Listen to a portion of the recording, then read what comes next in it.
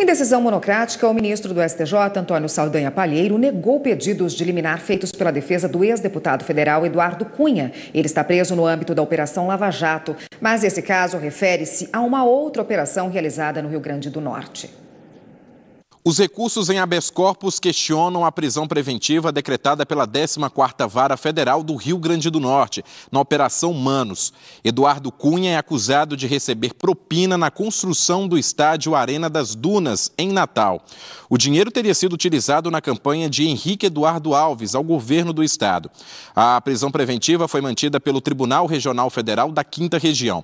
Nos recursos ao STJ, a defesa alegou que a prisão cautelar não seria mais necessária necessária, porque as testemunhas já foram ouvidas e apontou incompetência da 14ª Vara.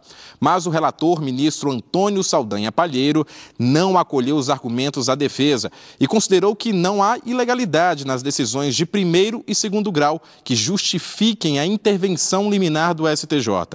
O mérito dos dois recursos em habeas corpus ainda será julgado pela sexta turma. Lembrando que Eduardo Cunha foi condenado a 14 anos e seis meses de prisão na Operação Lava Jato e está preso em Curitiba desde 2016.